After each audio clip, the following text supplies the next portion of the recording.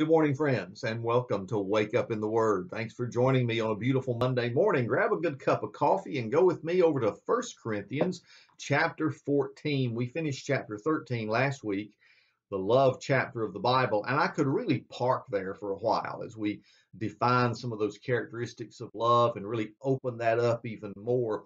But I think we've laid the foundation for what Paul was trying to do he gave us chapter 13 through the inspiration of the Holy Spirit after dealing with the, the purpose and plan for spiritual gifts in chapter 12, talking about how the body is made up of so many different parts that work together and have a different set of gifts that's given. Everybody doesn't have all the gifts, everybody doesn't have the same gifts, but they work together to make the body what it is. Then he deals with love and begins chapter 14 this way Follow the way of love and eagerly desire spiritual gifts, especially the gift of prophecy. Now, before he begins explaining this, understand that the gift of prophecy is that which involves preaching the word of God, preaching God's message to the people so that they can understand it. The gift of prophecy is given, of course, in the language the hearers can understand so that they can act upon what is said. Now, I'm reading this out of the 1984 NIV right now because I'm I wanted to use this particular note that comes from Spiros Zodhiates, where he explains a little bit about what's going on in chapter 14, gives us the historical connotation to go along with it. He writes, you know, in three historical incidences, speaking in tongues refers to the dialects or languages which were understood by others present on the occasion, but which had never been learned by the speakers. That's the miracle that took place in Acts chapter 2 on the day of Pentecost, again Acts chapter 10, then finally in Acts chapter 19, verse 6. These were the three incidences historically recorded in the book of Acts of people speaking in languages that they had not learned previously, glorifying God and therefore demonstrating that the messages that are coming there, praising God and pointing to Jesus, are all being generated by the Holy Spirit through those people. Now, back to the note. He says, um, these cases clearly involved divine enablement. The usage of the singular form, glossa or tongue, in this passage, however, may refer to an ecstatic utterance, which no one understood. And that's made clear in the passages we'll get to later. The members of the church are to build each other up. That's what Paul has been trying to emphasize to this broken church at Corinth since he started the letter. Therefore, no one should speak in the presence of others unless the hearers can understand what's being said. And if you see that uh, some of these notes on some of these previous passages that we'll get to, you can see that that's an emphasis Paul has actually throughout this particular epistle.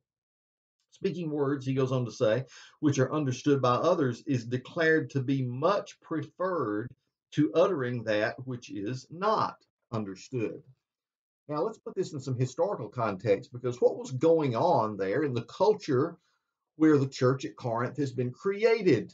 This brand new gospel of the Lord Jesus Christ has invaded the culture. What kind of culture? Well, when you read about what was going on there historically, we've got another uh, angle that'll help you understand why Paul had to deal with this issue at Corinth. One commentator puts it this way In the church at Corinth, much of the tongue speaking had taken on the form and the flavor of pagan ecstatic utterances. Now, what are we talking about there? Well, as it was commented on back in chapter 12, the practice of ecstatic utterances was common.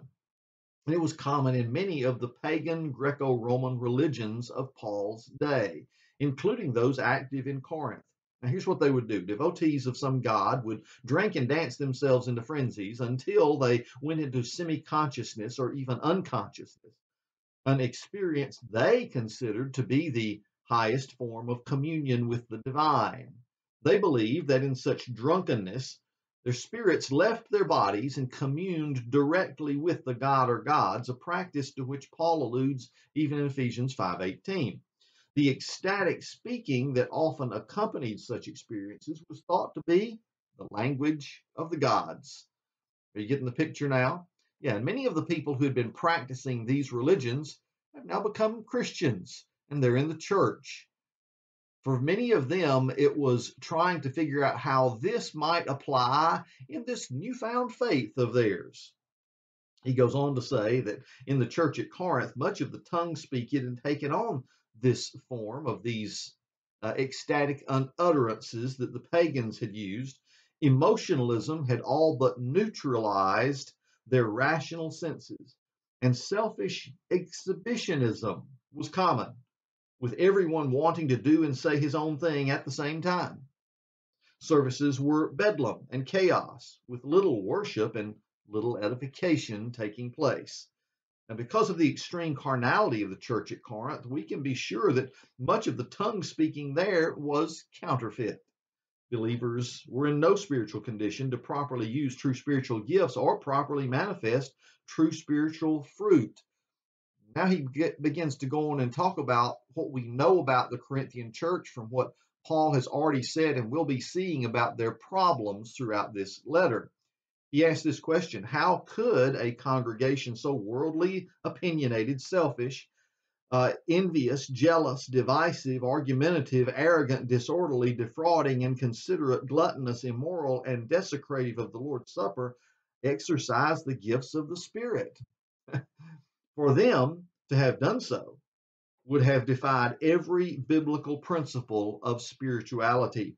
You cannot walk in the Spirit while exercising the flesh.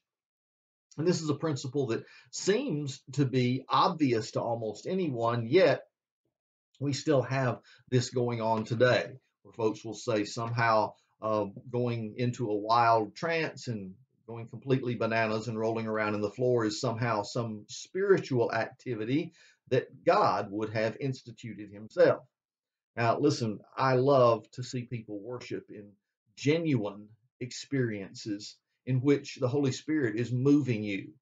But we've seen incidences in the past two three decades, even, where folks claimed that the Holy Spirit was instituting all kinds of activity, even passing out bags and saying, you know, we're going to have a service today in which everybody's going to get rid of the demons and and already setting them up for the idea that somebody's going to start puking in the congregation. So all of you are going to be throwing up, and is cleansing the soul.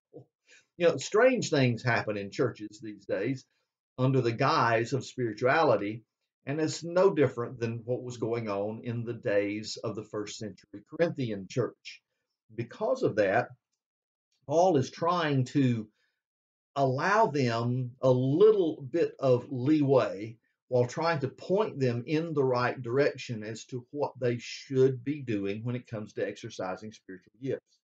So he says, desire especially this gift of prophecy. In verse 2, for anyone who speaks in a tongue does not speak to men, but to God.